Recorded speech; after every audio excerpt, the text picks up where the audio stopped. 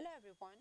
In my previous videos, I have shown you how to get started with Azure OpenAI and how to deploy a model. So in this video, we will see how we can consume the model which we have already deployed in Azure. So for that, the very first thing we need to do is we need to go back to our Azure portal and open the resource which we just deployed. So I'm not going through this part again because we have how we can deploy it. But if you are not sure how to deploy it, I would recommend you to watch out my previous video in which I have clearly explained all these elements. Okay, so this is the instance which we have deployed. So let's click on explore. So it will open up the Azure Open Stu AI Studio.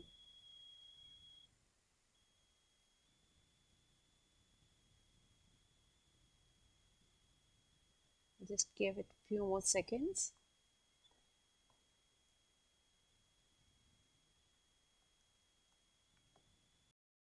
So this is our studio and on the left hand side you can see the chat and the completions. So this is the portion which we will try it shortly. We are going to try now.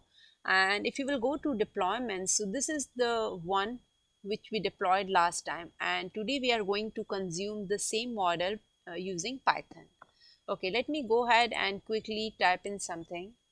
So write a python function to add two numbers.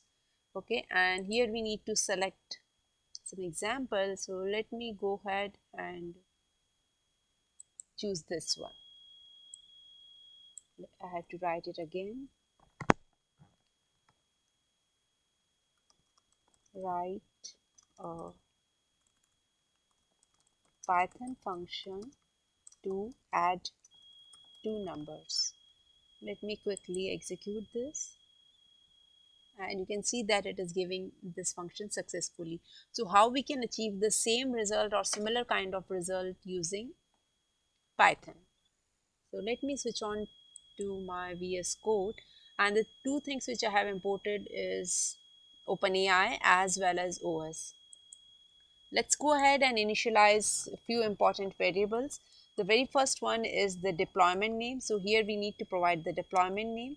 Then we need the kind of API. So for that, we need to say OpenAI dot API type. So this will always always be Azure in case of Azure OpenAI.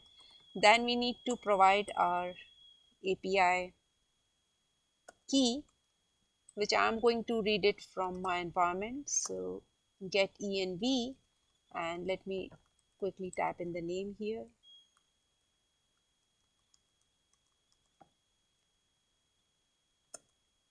The next thing we need is we need to provide the base URL or endpoint which we are going to hit. So that we can do it using API base and here we will be providing that URL and the last version is the API version. So this API version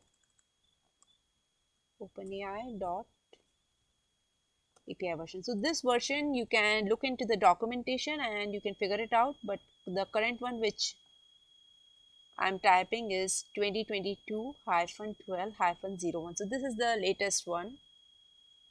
Okay, so first of all we need to grab the deployment name.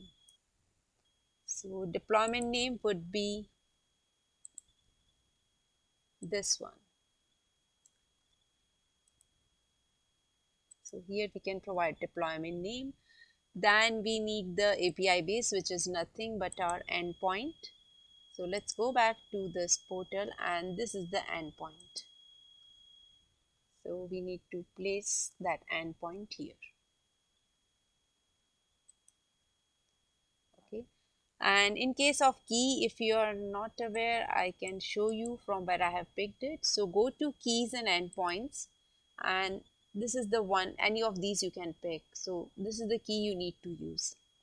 Okay so once this is done let me quickly execute this cell. The only thing remaining is to uh, make a call to the completion endpoint. Now that you can do it using uh, web API or you can also do it using SDK. So let's go ahead and do it using SDK because that is the one which is very popular way. Okay so for that first of all we will define the prompt. And prompt we can grab the same one which we have written over there. So let's go to this go to completions and grab this one so this would be my prompt next thing is we need to phrase how we are going to make a call so for that we will say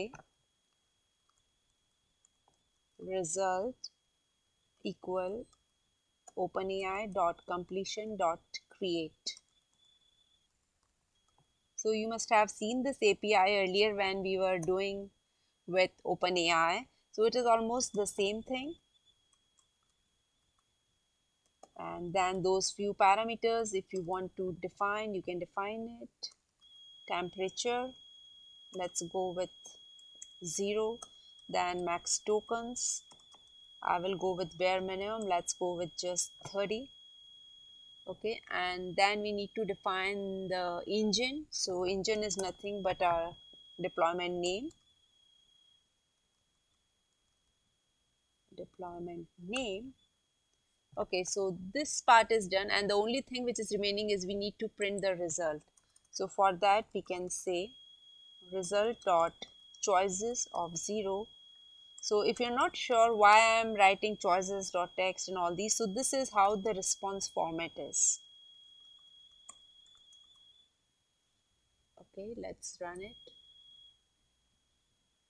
And you can see that the response is exactly the same which we have received over there.